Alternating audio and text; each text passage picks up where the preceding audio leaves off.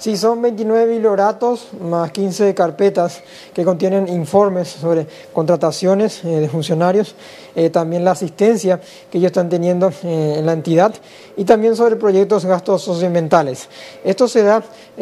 al Senado, la entrega, específicamente por un pedido de hace unas semanas en la plenaria de los senadores a la Ayaciretá para que remitan los datos sobre estas contrataciones y la cantidad de funcionarios que están teniendo actualmente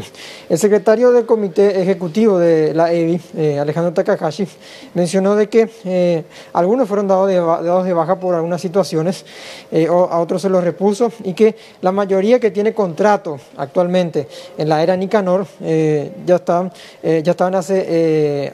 otras administraciones, hablamos de, años anteriores, no fueron directamente contratados por el actual director Duarte Frutos. Vamos a escuchar lo que mencionaba Takahashi y luego entregar estos documentos en propias manos al presidente del Congreso, Oscar Salomón. Si hacemos puntualmente cada uno de esas personas aludidas en ese informe, vamos a encontrar que son funcionarios que han entrado hace 15, 16, 17 años con formación profesional eh, bastante importante, con trayectoria y carrera administrativa en la entidad. Así que eh, yo creo que en la medida que sea necesario, estamos en condiciones de acercar toda la documentación al respecto. El senador ya no decía que eh, Nicanor Duarte Fruto eh, contrató a 343 funcionarios de su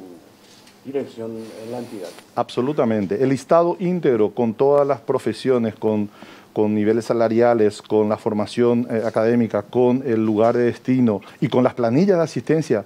es lo que venimos a entregar ahora a través de 29 biblioratos de planilla de asistencia más aproximadamente una docena de carpetas y documentos de rendiciones de cuentas de inversiones sociales en el área de salud, educación eh, y proyectos productivos. En la realidad, el incremento de funcionarios de la entidad, hoy el balance es de 133 funcionarios. Si le sacamos 23 que son por sentencia judicial, estamos hablando de 110 eh, funcionarios que, eh, digamos, han ingresado en 33 meses de gestión.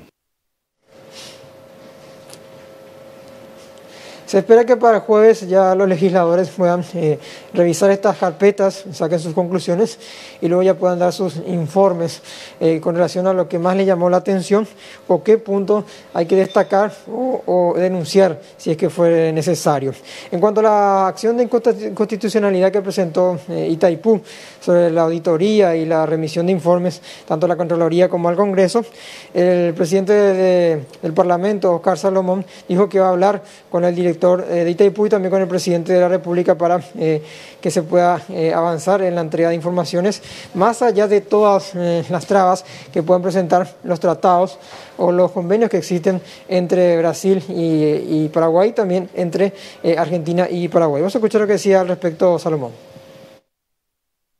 Voy a conversar con el director de la Itaipú Nacional, voy a conversar con el presidente de la República también tratando de hacerle entender que la transparencia es el camino que conviene a todos. Esto vamos a, el Secretaría General va a recepcionar esto ahora, eh, vamos a hacer una compilación, vamos a e informar, al, ojalá para el jueves ya lleguemos a tiempo y ya informemos al Pleno del Senado. Después entregaríamos a la prensa cada uno de estos informes.